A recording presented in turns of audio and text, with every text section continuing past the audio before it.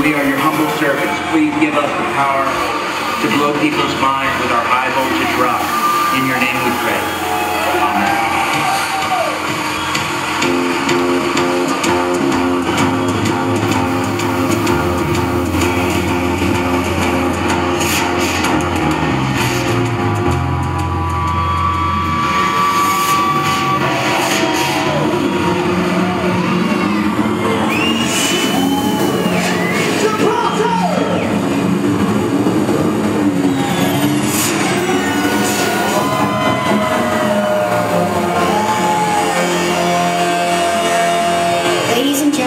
Please